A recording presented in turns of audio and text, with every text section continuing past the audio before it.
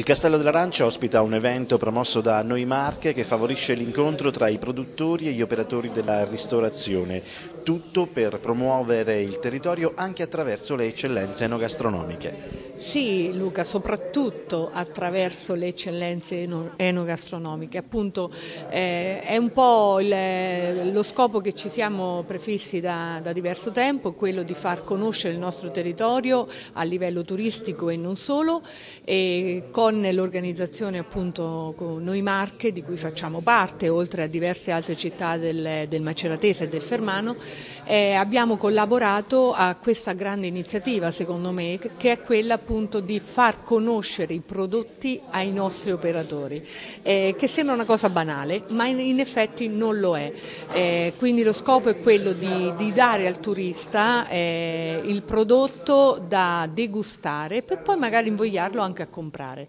Quindi diciamo un'iniziativa dove verrà anticipata da un piccolo seminario dove proprio in maniera molto libera si parlerà del tema eh, al quale crediamo molto e che abbiamo avuto un ottimo riscontro da parte dei nostri produttori de, di tutto il territorio perché abbiamo oltre 30 espositori che vengono proprio a far conoscere i loro prodotti.